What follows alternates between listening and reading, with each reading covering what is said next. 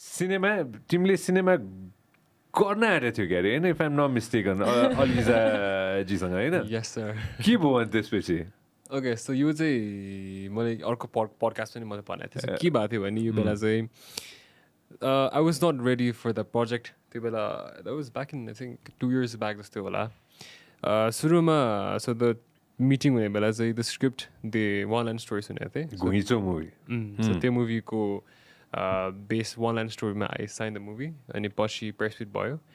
And then केही कारणवश त्यो स्क्रिप्टै चेन्ज भयो क्या so it change from a character based movie to a love story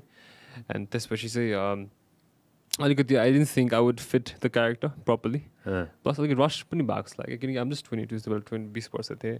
and then त्यो बेला त्यति एक्सपिरियन्स नै भए भएको थिएन एन्ड देन किन यस्तो हतार गर्नु किन जब गर्नु I have whole life ahead of me but अझै सिक्छु there always room for improvement so okay so yeah त्यसपछि चाहिँ एन्ड देन या मैले त्यो movie I love the movie त्यसपछि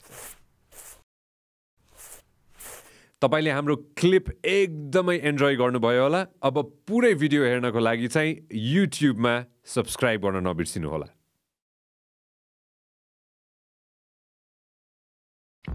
This program is brought to you by Vyas Studios.